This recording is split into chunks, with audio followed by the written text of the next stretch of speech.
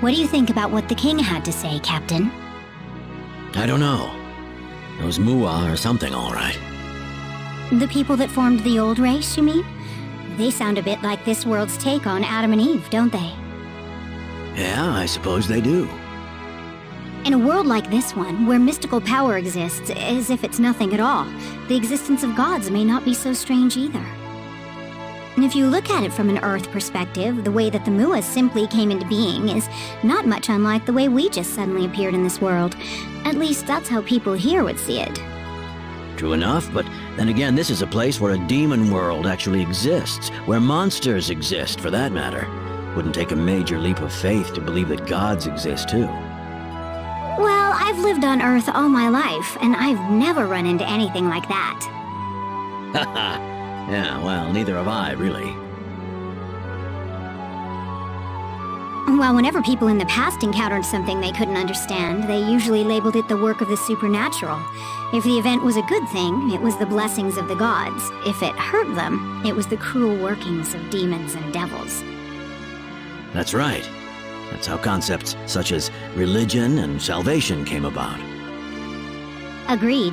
Earth was no exception. Medieval Europeans used to tell tales of a monster that blinked into existence with a loud rumbling and burned away everything in his path with a flash of blinding light.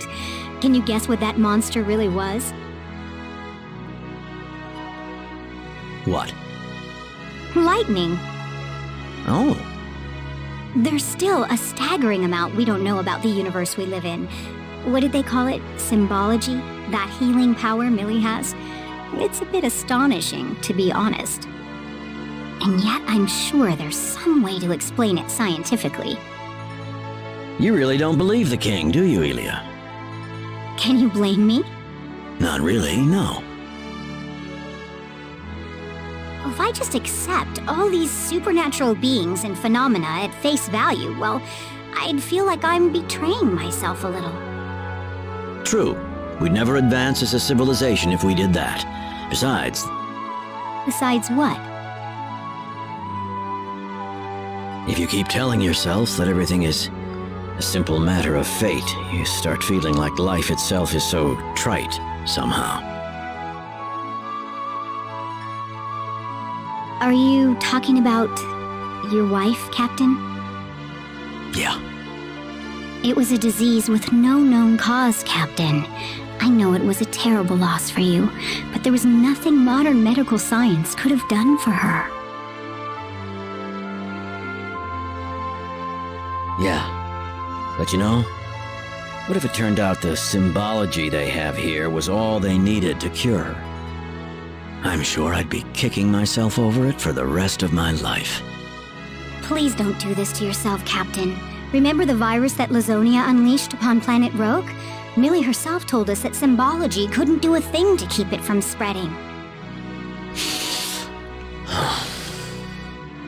You can't torture yourself over it your whole life, Captain.